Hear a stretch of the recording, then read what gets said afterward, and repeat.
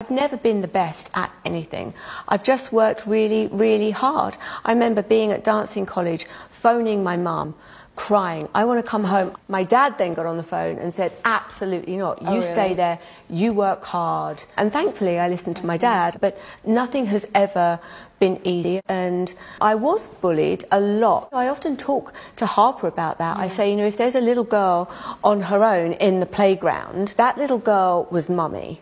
And that hurts. She finds making friends very, very easily. I never did. Go and talk to that little girl. I think before social media, you know, people had this impression of me that I, you know, I didn't smile, uh, which, to be honest, it's fine.